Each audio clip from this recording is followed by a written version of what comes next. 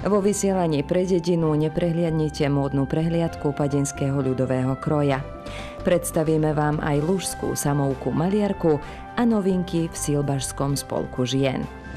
V nedeľu o pol 12. septembrové vysielanie pre najstarších prináša záznamy z výtvarnej kolónie invalidov práce, z kamarátenia hložianských penzistov pri Dunaji a predstaví manželov Čiefovcov, bývalých chysáčských zvonárov.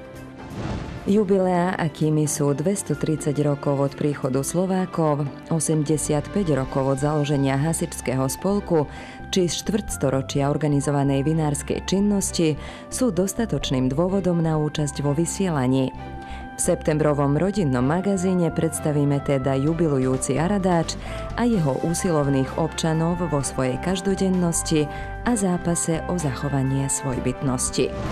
Obsahy našich vysielaní sú vám k dispozícii aj na webovej stránke televízie Nový Sad www.rtv.rs.